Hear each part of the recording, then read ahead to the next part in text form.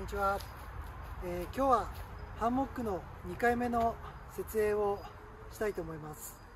えー、やっぱりこの前、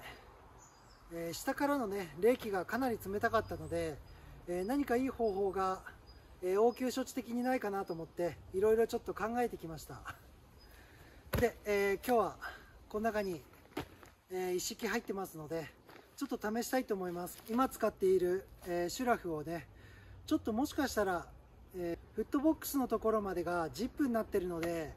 えー、足のところは覆えないんですけど下の部分はね覆えるんじゃないかと思って、えー、ちょっとやってみたいと思います、え今回は、えリッチラインをしっかり貼るために準備してきました。これです、えカエルみたいな感じですけどこれがかなり便利なのでちょっとこれで貼ってみようと思います。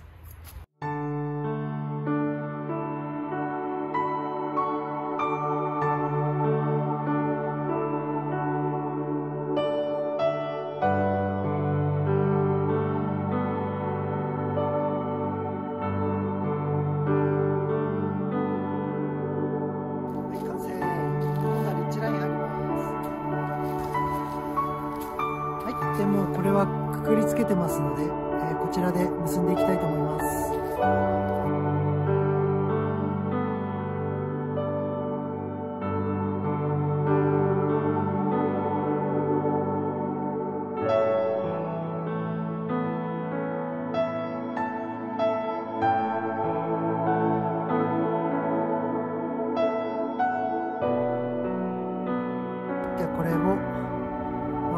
通します。で輪っかに通して持ってくる。そうするとこのままもう結びができています。すごく便利。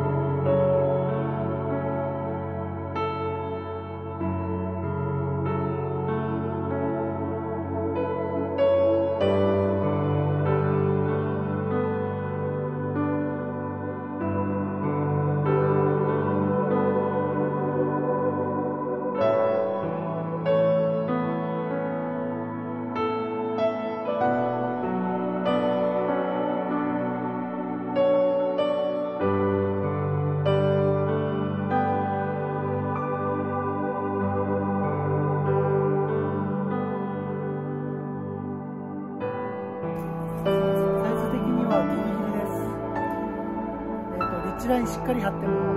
やっぱり、えー、ハンモック分の幅になります。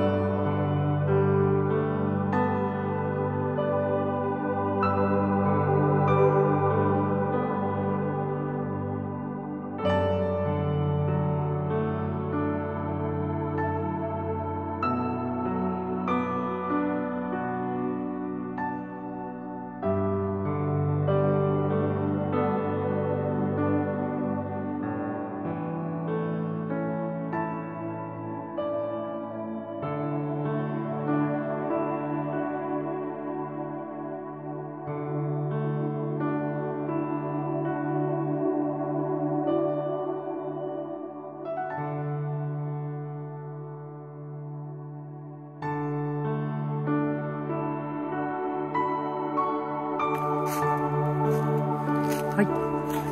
えー、ちょっとフットボックスのところがジップは全部オープンできないのでできる範囲だけくるんでみたんですけど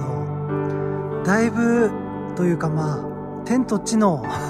さほど暖かさが違うなっていう感じです。えー、ここの部分と当たってる部分と当たってない部分のね、寒さが全然違うんですよね。まさかこんなに違うとは思ってなかったんで、ちょっとびっくりしましたね。アンダーキルトの必要性がどれだけ重要かっていうことが分かりました。なので、えっ、ー、と、とりあえずこれでもなんとかなりそうなので、上半身だけはしっかりくるめて、下はダウンパンツを持っていくような感じでも、今のところは大丈夫かなって思いました。で、えっ、ー、と、アンダーキルトにするんじゃなくて、普通に今シェラフを、えー、上からかけてみようと思います。